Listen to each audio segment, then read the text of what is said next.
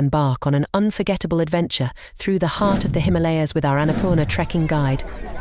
This journey will take you through lush green forests, introduce you to rich local cultures, and offer breathtaking views of majestic snow capped peaks.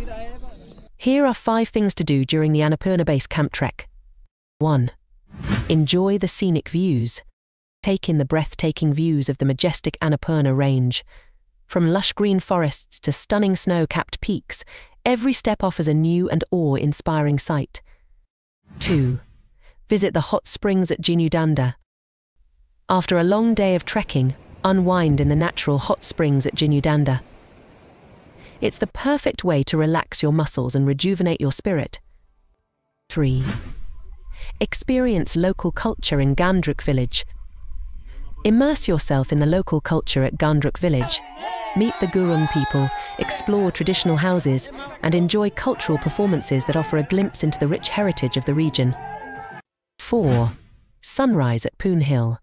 Catch the unforgettable sunrise at Poon Hill.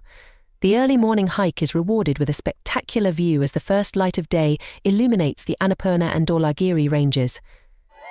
5. Reach Annapurna Base Camp. Finally, the highlight of your trek, reaching Annapurna Base Camp.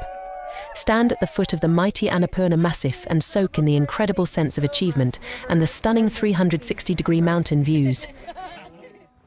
Visit our website at www.discoveryworldtrekking.com. Contact us via email info at discoveryworldtrekking.com or phone, WhatsApp, Viber at plus 977 984 0055491.